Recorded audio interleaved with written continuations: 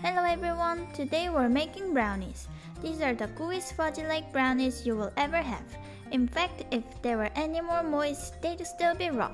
So chocolatey and rich, you will definitely want a cup of coffee or a glass of milk. And they transform when you chill them. Let's get started. First, we need to melt chocolate.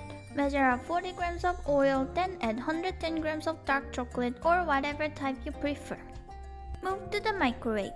Microwave in 30 second intervals until the chocolate is melted and combined with the oil. Then set aside. Next, in a bowl, combine 90 grams of brown sugar, 1 gram of salt, 1 large egg, and finally 1 gram of vanilla extract. Whisk on medium high until light and fluffy like this. Then add the egg mixture into the chocolate and mix.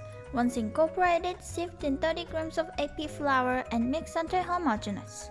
Finally, we will mix in 30 grams of unmelted chocolate chips. Mix those in super quick, then pour the batter into a non-stick pan or one lined with parchment paper.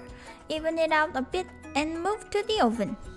Bake at 160 degrees Celsius or 325 Fahrenheit for 20 minutes. For the absolute gooeyest brownies ever, optionally bake them for 15 minutes. They will be baked but barely. Either way you choose, after baking, allow them to cool, then place in the fridge to cool completely. This will allow the chocolate chips we added to reharden and add a yummy snap in the brownies. It's the best part. After they're completely cool, slide them out of the pan, cut and plate. And here are our extra gooey, extra fudgy brownies. We chose the 15 minute option and they're barely not better. When you bite them, they melt in your mouth and they're even gooier and richer so you will definitely want a coffee or milk.